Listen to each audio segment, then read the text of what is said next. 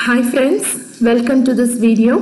This video we will see how to work with multimedia elements in HTML5. So what is meant by multimedia elements? So multimedia elements convey the information in the form of image, audio, video, graphics and animation. So now let us see how to code HTML with multimedia elements.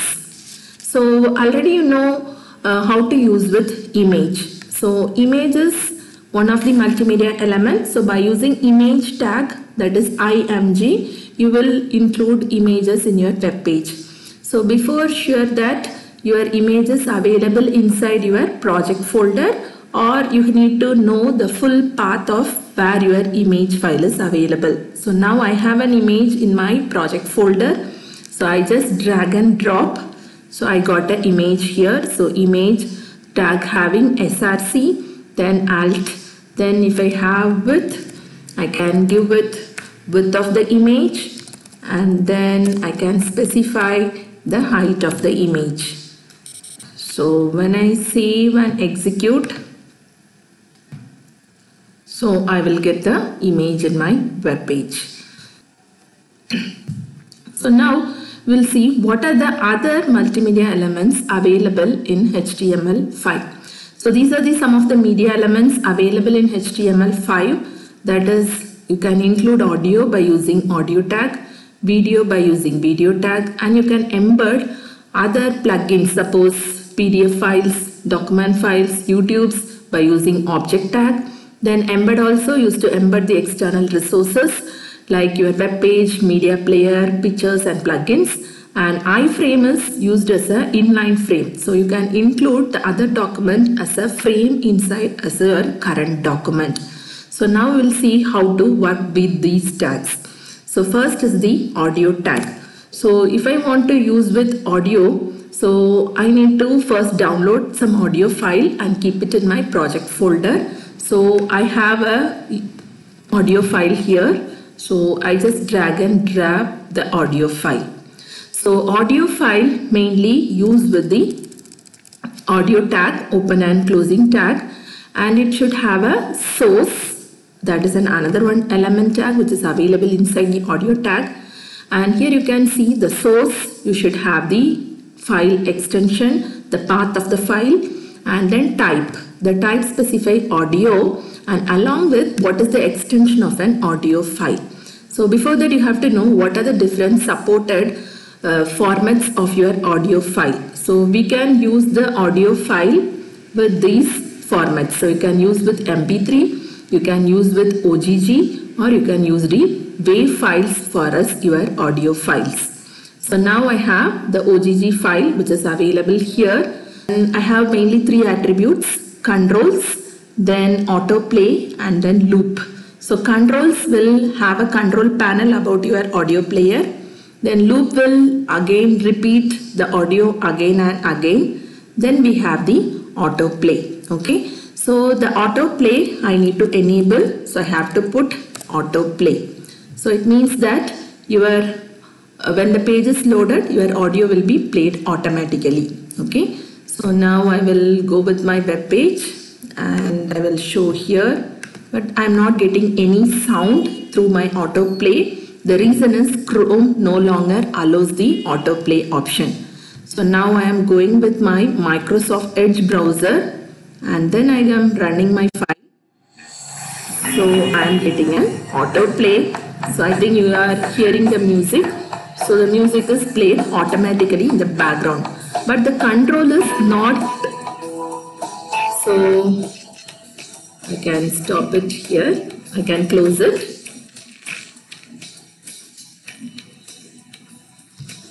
Okay, but the control is not visible. So you want to make the control also visible. So you need to include another one attribute called as controls. So now I can run it. So I can have an autoplay and also I have a control. So if I want to pass, I can pass it. So if I am doing with Chrome, the autoplay is not working, but I have a control. I can click it and it will play and pass. the controls will be available here and if I put a loop here it will be automatically repeated okay so this is the thing available for the audio tag and you want to just go through it. So autoplay controls loop and you want to mute you can mute it. Then source is the another one important thing. And you can set the background music without the control by using the autoplay option. And if I want the control also visible I can use with autoplay and controls. The next tag is the video tag. And here I am having one video which is already loaded and kept it in my project folder. So just I drag and drop it. So now you can have my video tag. So video tag having mainly important the width of the frame of the video, height of the frame and then the controls for adjust your pass and play your videos. Then here also we have the source tag, it having the SRC where you have to give the URL of the file and then type. There you have to specify it is a video file, what is the format accepted, that is the MP4. Okay, so now we'll just go through here.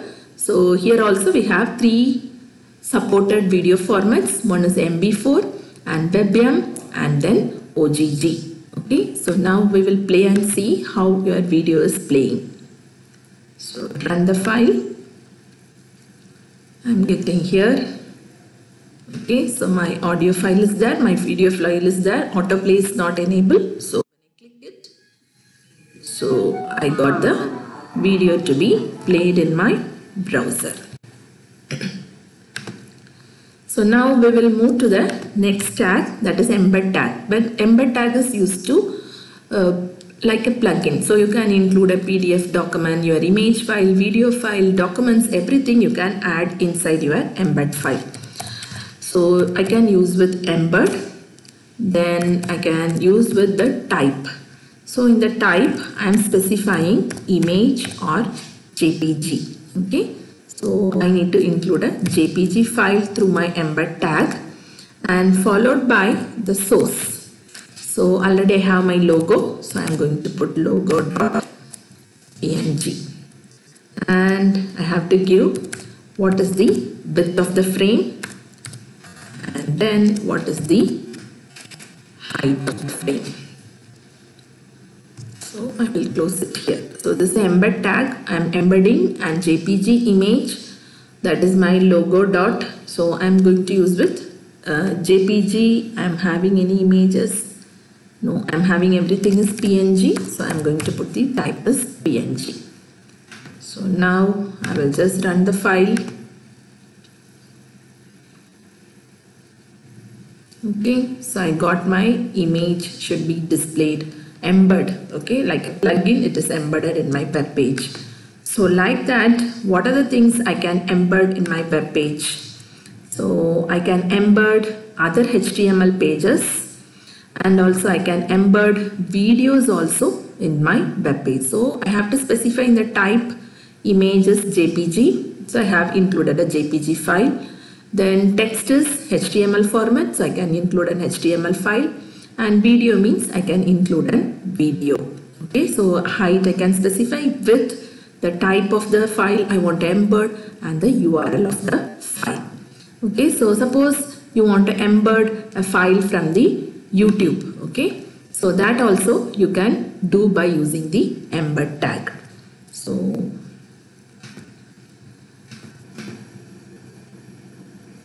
so I'm having a code of embed tag to include the YouTube.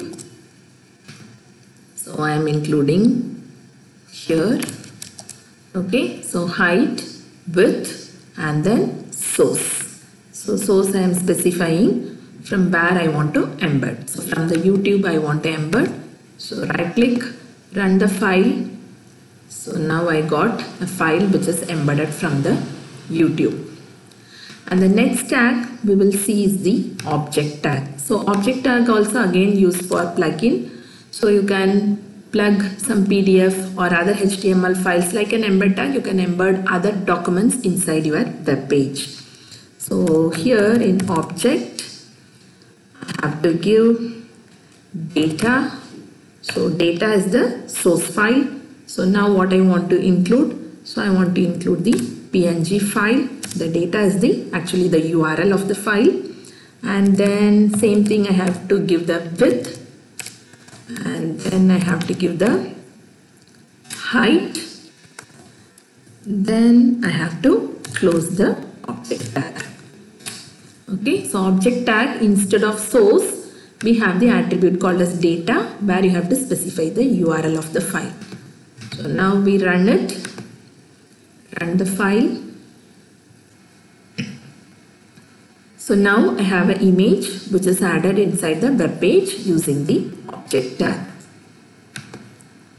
So by using object tag, what are the other things we can do? You can add a picture and you can add a video, you can add other HTML pages. So these are the attributes available in your object tag and then I told you can use with object, you can play a video. Directly you can use with data so I can show you so how it will be done. So I can have a object tag object data equal to so I have my video. So video then I can use with with this equal to 400 and then height is equal to 400 and then close the object tag okay so now execute. So I have this video which is embedded as an object tag which is embedded in my web page. Okay but I need to add some parameters. Apart from this also I need to add some parameters to my object tag. So for that we have a tag called as param tag okay you can see here. So instead of doing all the parameters directly in the tag you can use the param tag also to specify the parameters.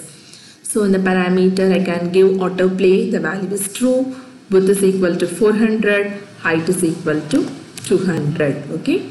So now I can go with again the web page. So I can have it here. I already told Chrome browser autoplay is restricted. So when I click the button itself, it start to play the video. Okay. And now we will go to the next tag. The next tag is called as iframe. Okay. So iframe is used to embed a document as a frame inside your HTML document. So while you go with iframe, so iframe. So iframe is used to embed a document inside your web page as a frame. So now I can go with the iframe. So I can use with iframe. iframe I have a source. The source I need to tell what I want to include as a frame. So I have a PNG image that I have included and followed by I need to close it. So slash iframe. So now this will be added as a frame inside your web page. So right click run file. so you can see here, you can know the difference. Okay. So like a frame, like a frame, the image is added inside your web page. So like that you can include a YouTube video or a PDF file or you can include a Google map also inside the iframe. I will show you how to use it. Okay. So I will go with the browser. I will search for a YouTube video. YouTube. Then I can go with go with my videos. I have some videos. So I will select from that video. So I can go with some video. So the video is playing now. So I have an option here okay? Share. So you click the share button. You have this embed tag. So click the embed tag. When you embed you will get an iframe. So just copy that iframe and then you come to your code and then add iframe. Okay? So when you add it then execute it so you can see here your YouTube video is added as a iframe inside your web page. So now we will see how to include a Google map inside your web page as a iframe. So I can go with Google map generator. Okay, so Google map generator. So I can get a Google map generator. And here I am going to give the address. Karunya University. Get the HTML code okay? When you get the HTML code itself your iframe is here. So copy the iframe informations. Okay so I need only up to iframe. I don't need the other things. So I just copied everything and go it here.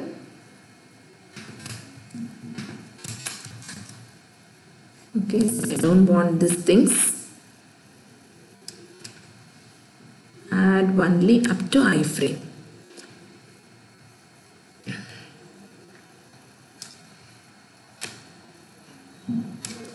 Take only the iframe